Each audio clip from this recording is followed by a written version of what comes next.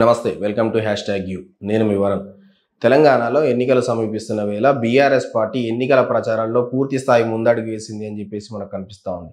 దీనిలో భాగంగా చూసుకున్నట్లయితే ఇప్పటికే సీఎం కేసీఆర్ ఒక ఐదు సభల్లో పాల్గొనడం జరిగింది. అంతకుముందు ఏదైతే బీఆర్ఎస్ వర్కింగ్ ప్రెసిడెంట్గా ఉన్నటువంటి కేటీఆర్ అదేవిధంగా హరీష్ రావు వీరిద్దరూ కూడా అనేక ప్రచార కార్యక్రమాలతో పాటు కొన్ని అభివృద్ధి కార్యక్రమాలకు సంబంధించి శంకుస్థాపనలు చేయడంతో పాటు ఆ యొక్క ప్రాంతాల్లో సభలు కూడా నిర్వహించడం జరిగింది. సో ఇవన్నీ ఒక ఎత్తు అయితే ప్రస్తుతం బీఆర్ఎస్ ఎప్పుడైతే ఎమ్మెల్యే అభ్యర్థులను ప్రకటించిందో గ్రామ స్థాయిలో ఆ ఎమ్మెల్యే అభ్యర్థులు ఎవరైతే ప్రచారానికి వెళ్తున్నారో వారికి పూర్తి స్థాయి నిరసన సగైతే తగులుతుందని చెప్పేసి మనకు స్పష్టంగా తెలుస్తూ ఉంది. ఇందులో ఏదైతే ప్రతి నియోజకవర్గంలో ఆ యొక్క ఎమ్మెల్యేలు మా గ్రామాలకు రావద్దు మాకు గతంలో చెప్పిన హామీలు ఏవి చేయలేదు కాబట్టి మా యొక్క ఓట్లను అడిగే హక్కు మీకు లేదు అని చెప్పేసి పూర్తి స్థాయిలో గ్రామాల బయటే మా ఎమ్మెల్యేలకు మా నియోజకవర్గంలో పరిధి ఎమ్మెల్యేలకు మా గ్రామాల్లో అనుమతి లేదు అని చెప్పేసి బోర్డులు పెట్టడం జరిగింది.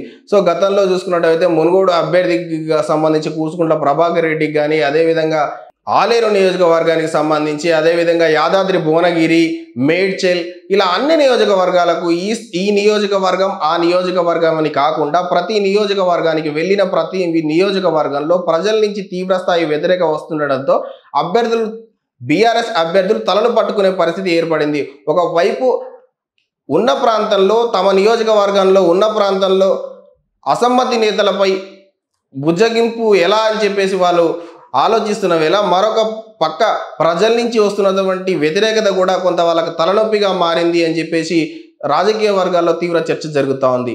దీనికి చెక్ పెట్టేలా ఎలా మనం ప్రజల్లోకి ముందుకెళ్ళాలి? ఒకవేళ సమస్యాత్మకమైనటువంటి ప్రాంతాలు ఏవైతే ఉన్నాయో ప్రజల నుంచి పూర్తి స్థాయి నిరసన వస్తుందో? ఆ యొక్క ప్రాంతాల్లో ప్రజలకు ఎలా చేరుకోవాలి అని చెప్పేసి కేటీఆర్ మరియు హరీష్ రావు అదేవిధంగా అదేవిధంగా మన కొంతమంది నేతలు ఒక పూర్తి స్థాయి సమాచారాన్ని ఎలా ప్రజలకు చేరవేయాలి అని చెప్పేసి ఒక సోషల్ మీడియా ప్లాట్ఫామ్ని ఎంచుకొని సోషల్ మీడియా ప్లాట్ఫామ్ ద్వారా మనకు ప్రజలకు మరింత చేరువవ్వాలి. సోషల్ మీడియాలో కీలకంగా దూడుగా వ్యవహరించాలి.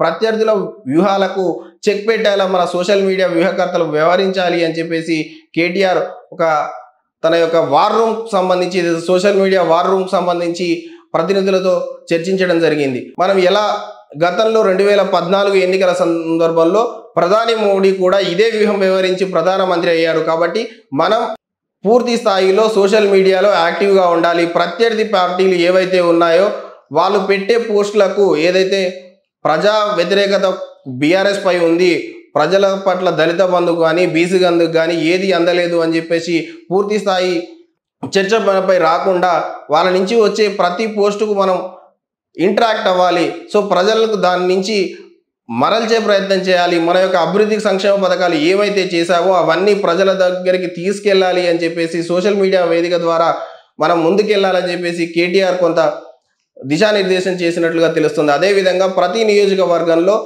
కొంత కొన్ని కుటుంబాలకు కానీ లేదా కొన్ని ప్రాంతాలకు సంబంధించి ఒక ఇన్ఛార్జిని ఉంచాలి. ఆ ఇన్ఛార్జ్ తీవ్ర స్థాయిలో ప్రతి నిమిషం ఆ యొక్క అక్కడ ఏం జరుగుతుంది పరిస్థితి ఏంటి అని చెప్పేసి పూర్తి వివరాలు సేకరించాలి అని చెప్పేసి కూడా కేటీఆర్ కొంచెం ఆదేశాలు జారీ చేసినట్టుగా తెలుస్తోంది.